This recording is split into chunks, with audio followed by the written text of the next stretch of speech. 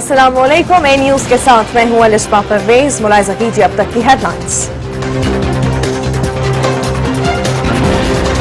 دفتر خارجہ نے واضح کیا ہے کہ ایٹمی ہتھیاروں سے متعلق دو ہزار سترہ کا معاہدہ بنیادی شرائط پر پورا نہیں اترتا اور پاکستان اس معاہدے کی شک پر عمل درامد کا پابند نہیں۔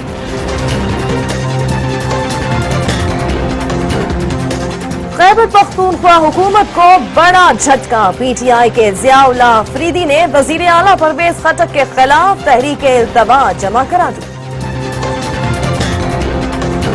سابق وزیر پیٹرولیم ڈاکٹر آسن کے خلاف چار سو باسٹھ ارب روپے کی کرپشن کا معاملہ۔ کراچی کی احتساب عدالت نے ملزموں کو انڈیکس فراہم کرنے کا حکم دے دیا۔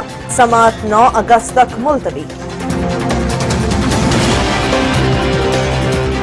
وزیر اعظم شاہد خاقان عباسی سے گورنر پنجاب رفیق رجوانہ کی ملاقات۔ باہمی دلچسپی کے امور پر تبادلہ خیال۔ ایم کیو ایم اور مسلم لیگ نون کی ڈیل کا علم نہیں۔ پیپلز پارٹی کسی گندی سیاست کا حصہ نہیں بنے گی۔ وزیر اعلیٰ سندھ سید مراد علی شاہ۔ سابق وزیر اعظم بے نظیر بھٹو کی صاحبزادی آصفہ بھٹو زرداری کا صفائی ستھرائی کا جائزہ لینے کے لیے کراچی کے علاقے لیاری کا اچانک دورہ۔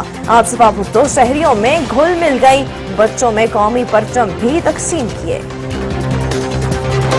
پنجاب بھر کے سرکاری ہسپتالوں میں ینگ ڈاکٹرز کی ڈیٹائی ساتویں روز بھی برقرار۔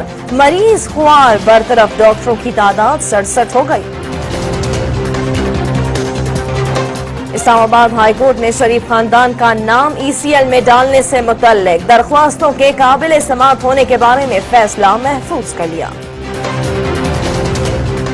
قانون کے مطابق نااہل شخص پارٹی کا سربراہ نہیں رہ سکتا۔ نواز شریف اداروں میں تصادم چاہتے ہیں۔ ان کے پاس بھاگنے کا کوئی راستہ نہیں۔ تحریک انصاف کے رہنما بابر اوان کی اسلام آباد میں میڈیا سے گفتگو۔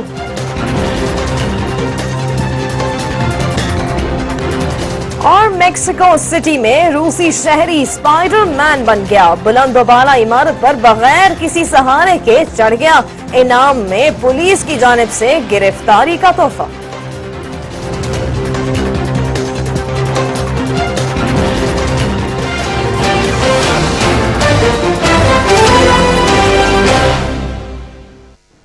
اور ناظرین اے ٹی وی کی ٹرانسمیشن انٹرنیٹ پر دیکھنے کے لیے وزٹ کیجیے A T V dot com dot P K مزید خبروں اور اپڈیٹس کے لیے دیکھتے رہیے اے نیوز